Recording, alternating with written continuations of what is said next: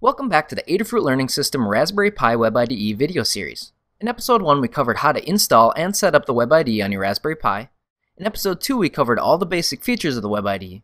In episode 3 we'll go over how to take advantage of the Web IDE Visualizer feature.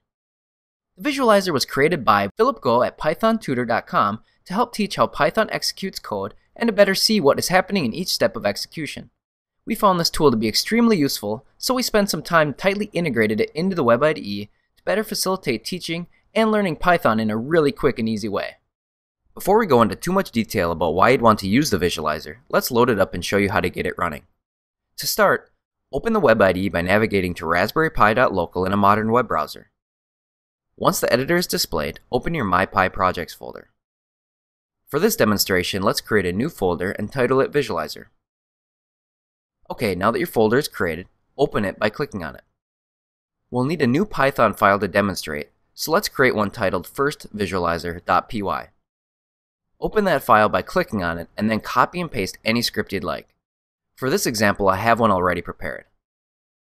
Save the script you've just copied and once it is saved, click the visualizer link in the editor action toolbar. The visualizer will take as long to load as your script takes to execute. Okay, it looks like the visualizer has completed running our program and is ready for us to step through it. The first thing you might have noticed is that the editor action bar has changed with first, back, forward, and last, as well as what step we're on in our program. Another thing you can see is that the editor has been replaced with the static view of our program.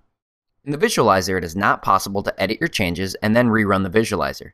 You'll need to click the Back to Editor button in the Editor Action toolbar to edit your files. Also at the bottom of the screen is the program output. The visualizer is quite easy to use and understand. The first thing we can do is click the forward button. This will cause the visualizer to display the second step of our program's execution stack. You can see that in this case, all it did was import the sleep function and save it as a global variable. Let's click forward a few more times. Now you can see that we have another new global variable titled x. x is a list and has the values 1, 2, and 3. The great part about this is that you can now visually see how variables are assigned to each other and how they are stored in memory.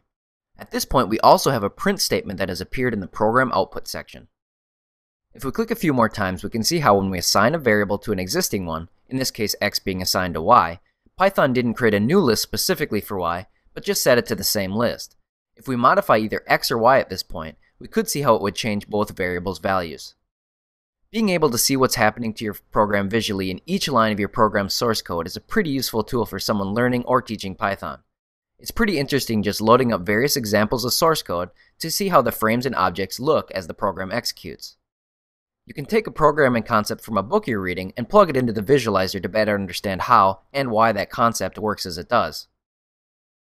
This video has just scratched the surface of what the visualizer can do. Next time you fire up the Web IDE, give it a try and see if you can find interesting ways to optimize or better understand your code. In the coming weeks, we'll be releasing videos that will cover more of the advanced features such as the step debugger and the scheduler, so be sure to subscribe to our channel here on YouTube. Thanks for watching.